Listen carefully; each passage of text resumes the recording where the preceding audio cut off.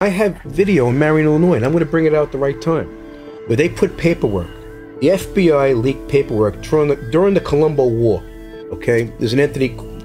The government and the press named a group of individuals the Colombo crime family. They named them. Okay, and there was a campaign going on in the streets. There were people getting hurt, and there was documents that fell into the hands of a gentleman named Joey Scopo. Love the guy, wonderful, wonderful man, and a guy named Wild Bill Cutolo, another good man, a gentleman. They came and see me one night, and they says, "John, you know, it's an emergency. We got to talk. We get, we get together."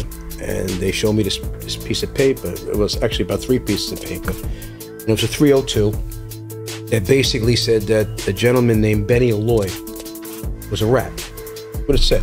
They broke it down, said he was a rat. I looked at it and I said, wow. So Joey says, you got to find out how the chief feels about this, which Joe used to call my father the chief. Okay?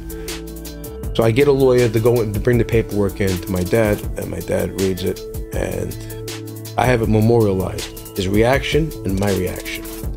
And at the right time, I'll, I'm going to walk it out. But basically, my father imported himself on the visit like he normally would do. And then he looks up when he's getting ready to go. He says, "Yeah, about five minutes. You're going to have to go."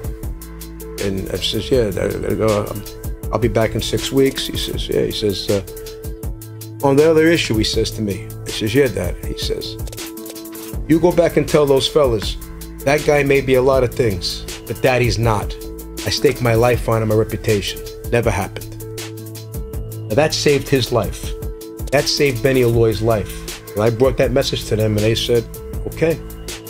Turned out, it came out a short time later that was documents that were leaked out by the government, fake documents. They would have got the guy killed. They don't care. They don't give a shit. They don't care. Don't care. They don't fucking care. They don't care who kills who. They don't care. They don't care.